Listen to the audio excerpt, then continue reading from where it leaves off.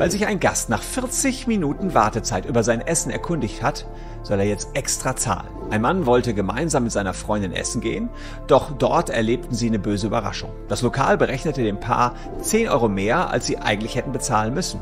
Der Grund? Der Kellner habe die Gäste als zu anstrengend empfunden. Auf der Rechnung wurde deshalb vermerkt, Beleidigung Kellner 10 Euro.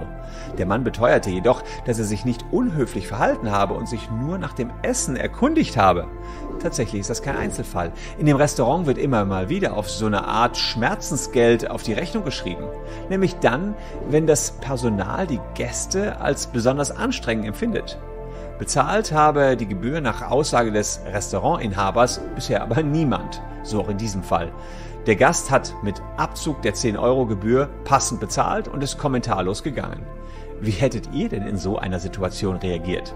Lasst es uns in den Kommentaren wissen.